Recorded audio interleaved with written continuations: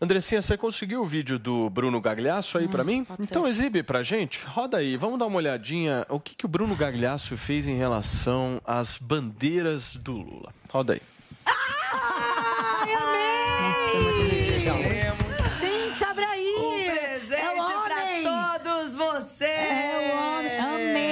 Gente. A toalha tá super em falta, Pra tá quem, vendendo não tá, horrores. pra quem não, não tá vendo, é uma toalha do Lula que, na verdade, viralizou. Encomendei pra vocês. Quando ele comprou. Inclusive, você comprou várias dessas toalhas pra vários amigos. né? Comprei Obrigada, 20 obrigada. toalhas. Pra mim não me deu, não me deu ainda. Então é essa que eu vou levar pra casa. Pode levar, Obrigada. tem mais Tem em uma casa. mala dessa toalha lá em casa e toda, todos os amigos ele vai dando A Fernanda, que decepção. É a Fernanda. Meu Deus, até a Fernanda. Ou então Meu ele Jesus. comprou 20 toalhas, certo, com o rosto do Lula, justamente para distribuir entre amigos. Vocês já compraram do Bolsonaro também ou ainda não? Cara, eu queria uma dessa do Lula, porque eu tô precisando de pano de chão na minha casa. Só que aí eu não sei se Eu vai compro com isso sujar aí, mais sim. ainda. E também não sei se, se vai, vão surgir perninhas e vai sair roubando minhas coisas dentro de casa.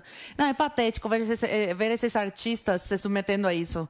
a defendendo bandido, fazendo propaganda de bandido. O, o maior bandido da história desse país. Não, sinceramente, sinceramente. Eu achei que quando o Paulo falou que estava distribuindo toalha, eu achei que ao invés de falar toalha, estava distribuindo a renda dele, né? Já que se importa tanto com as minorias. É patético, é Muito patético. bem. Mas eu quero esperar de uma pessoa que para de falar com o irmão por causa de política. O cara odeia o, o próprio irmão porque o irmão vota no Turma, Bolsonaro.